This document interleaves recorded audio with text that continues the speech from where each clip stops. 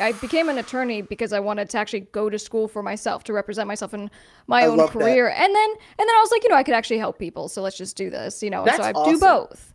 yeah, But it's that's it's so amazing. there's nothing more difficult than trying to have a successful music career. Hands down. It- That's yes, just it's it's so much work, but let me let me tell you the flip side of it that it's worth it. I've seen artists that are regional that are making $50,000 a month just in streaming. I've seen artists become multimillionaires doing this and I've seen artists change the world doing this. So whatever you're in this for, whether it's just to feed yourself and your family or whether you want to become an international star or whether you just want people to hear your thoughts and your ideas, all of the work is worth it.